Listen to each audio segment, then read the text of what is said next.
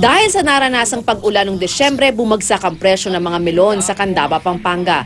Ang farm gate price ng mga melon gaya ng cantaloupe, sweet flavor at honeydew, 10 hanggang 15 piso kada kilo na ngayon na nooy na sa 30 piso. Nasa 5 ektarya kasi ng mga pananim na melon ang nasa lanta ng pag-ulan. Maliliit at naging matabang ang mga melon. May mga tuluyan pang nasira.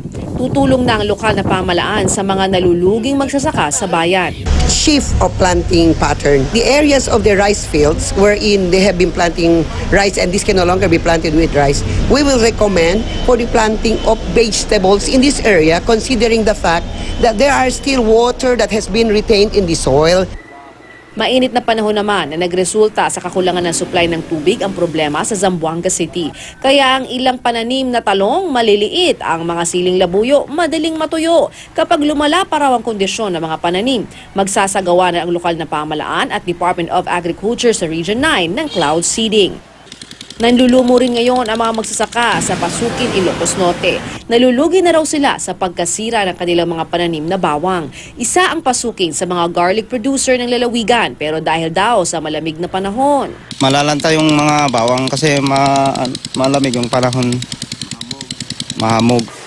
Sa Lawag City naman, sa parehong probinsya, bumaba ang presyo ng ilang gulay dahil sa dami ng supply. Okay na sir, mura na ngayon, hindi na katulad noon. Nagmura ang okra, ampalaya, sitaw, kamatis, balunggay, kangkong, kamote at upo. Tumaas naman ang presyo ng talong ng 10 piso kada kilo. 50 piso na ito ngayon mula sa 40 piso. Marami rin ang supply ng gulay sa Baguio City dahil marami rin ang ani sa Benguet ngayong malamig. Nasa 1,000 kilo na mga karot na nagkakahalagang halos 20,000 piso ang itinapon matapos hindi maibenta sa La Trinidad Trading Post. Ang mga magsasaka umaaray dahil sa pagkalugi. Nitong nakaraang linggo, bumagsak ng piso kada kilo ang farm gate price ng ilang gulay gaya ng wombok at 3 hanggang 5 piso kada kilo naman ang mga karot. Ramdam din ang pagbaba ng presyo sa Metro Manila. Ang repolyo, 40 piso kada kilo habang 80 hanggang 70 piso naman ang cauliflower at broccoli.